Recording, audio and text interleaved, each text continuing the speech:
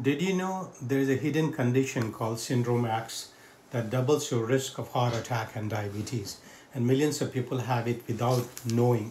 Syndrome X is also called metabolic syndrome and is not one disease but a cluster of problems.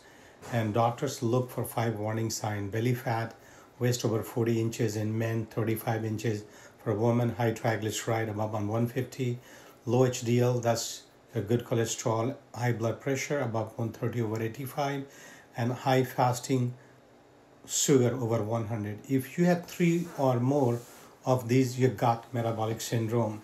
And the root cause is insulin resistance.